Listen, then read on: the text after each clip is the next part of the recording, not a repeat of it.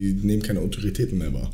Was ich so, das kriege ich ja auch als Trainer mit. Du musst manchmal echt Egos brechen so und das ist eigentlich gar nicht schön.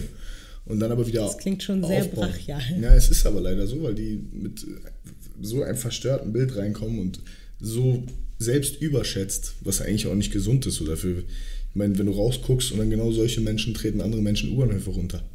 Und dann musst du das Ego erstmal wieder brechen und die wieder grounden und sagen, ey, du bist kein Pfund besser und kein Pfund stärker als irgendjemand anders. Weder in der Gruppe noch alleine. Das finde ich, lernt man im Ring sehr gut. Im Ring bist du alleine, dann kriegst du auch einmal auf den Deckel und dann weißt du, scheiße, ich bin nur so gut wie das, was ich auch tue und was ich investiere.